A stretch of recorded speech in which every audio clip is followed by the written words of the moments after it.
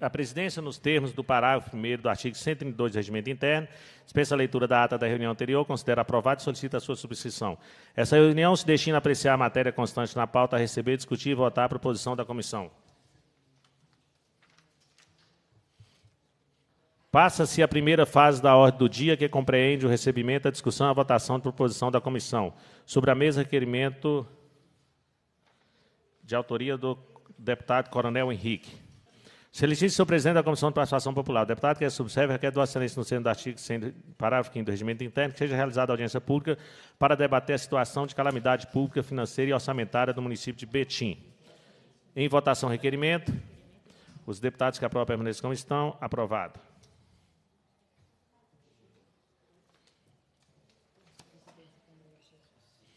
Passo a presidência para a deputada André Jesus para a leitura do requerimento, minha autoria.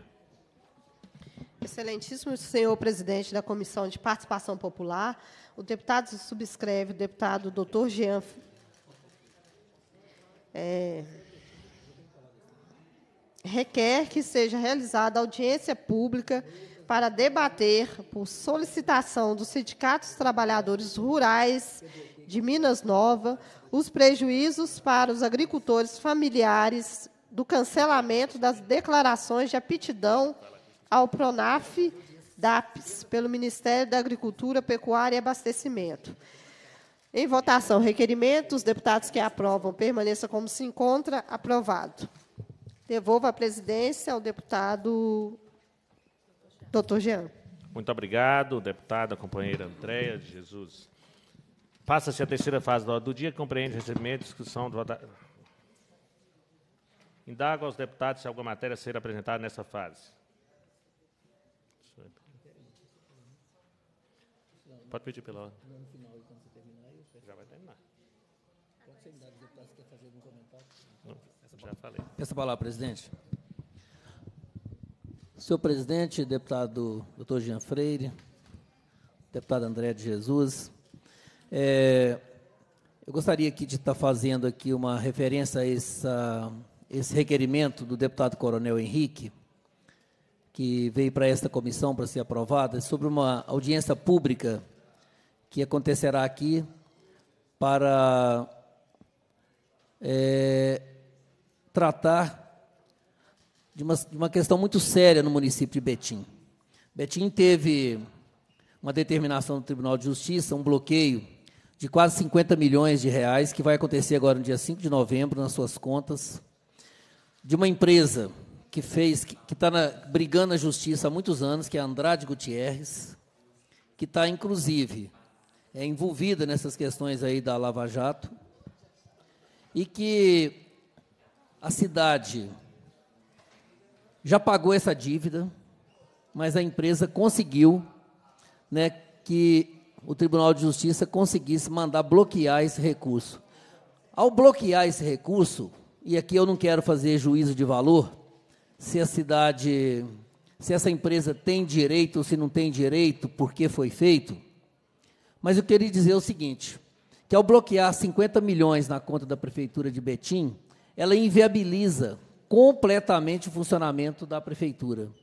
Ela precisa fechar unidade de saúde, precisa fechar unidade de educação, precisa fechar serviços para a população, não consegue pagar a folha de pagamento no dia 5, de, no, no início do mês de novembro. Então, a cidade praticamente vai parar quando fizer esse bloqueio de 50 milhões, próximo de 50 milhões na conta. Então, essa audiência, presidente, é para discutir uma saída né, para esse imbloga que foi criado no passado e que veio se arrastando e que hoje chegou a esse ponto né, de um bloqueio dessa monta, dessa natureza, né, que nenhum município comporta né, ser bloqueado de uma vez 50 milhões na conta.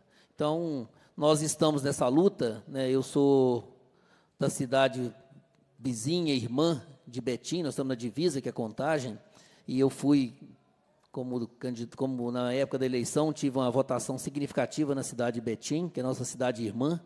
Então, eu já falei com o prefeito lá, com o Vitório, que nós estamos nessa luta junto, nessa audiência pública, para realmente defender os interesses da cidade, defender e mostrar para a justiça que não dá para fazer um bloqueio dessa natureza e de uma vez, uma vez. Então, que se isso tiver que ser pago, que isso tem que ser repensado a maneira e a forma de pagar, de forma que os serviços essenciais que a cidade presta não sejam prejudicados, que a população mais simples e mais pobre não seja prejudicada em função de um atendimento de uma única empresa nesse valor.